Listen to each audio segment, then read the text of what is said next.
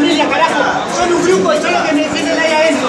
Vamos a pasarlo por arriba y olvidémonos de todo. Vamos a agarrarla por nosotros. Te la merecimos porque nos rompemos el otro toda la semana. Por nosotros, ¿eh? ¡Vamos! Muchachos, de verdad lo que es el flaco. Es aquí ahora. De aquí no viene y no roba a nadie, nada. Nosotros vamos a salir campeones, hermano.